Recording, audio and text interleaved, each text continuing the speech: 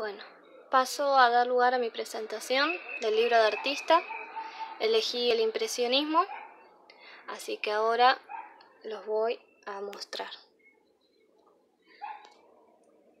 Este es el primero.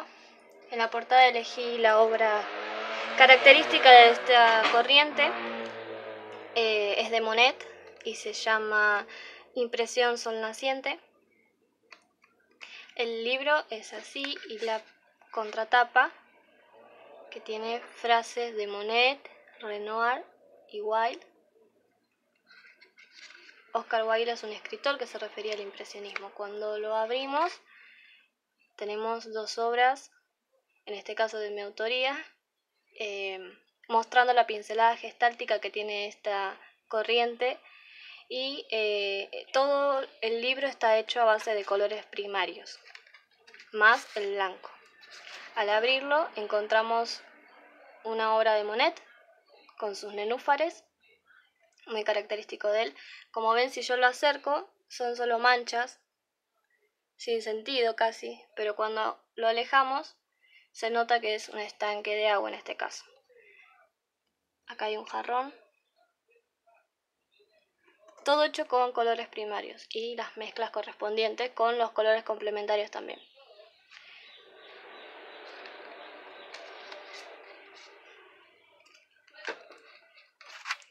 Después tenemos este,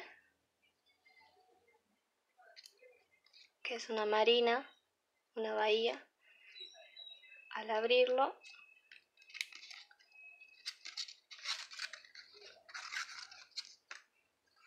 acá puse los colores primarios y sus correspondientes mezclas.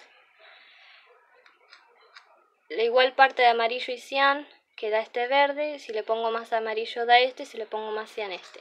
Esta es una controversia porque algunos dicen que el color primario eh, es azul, rojo y amarillo y otros dicen que es magenta, cian y amarillo. Como podemos ver, eh, tienen diferentes composiciones y se pueden sacar diferentes mezclas. Se nota mucho con el violeta y el púrpura. Eh, bueno, yo lo hice, uso estas dos, estas dos paletas Acá hay una muestra de todos los colores que se pueden encontrar con los colores primarios, tanto sea de la colorimetría del magenta como del rojo. Seguimos, tenemos las técnicas, son las pinceladas igual gestálticas, con mezclas, sin mucha forma, esta corriente no tiene eh, mucha importancia, no le da importancia a la forma, sino a lo que es eh, la luz y la pincelada. Se usan matices. Bueno, y puse una, frase de Monet que dice, tal vez me debo haber convertido en un pintor de flores. Este es uno y bueno, dice Y este si lo abrimos, se puede también hacer como si fuera una escultura y se ve ahí cada parte.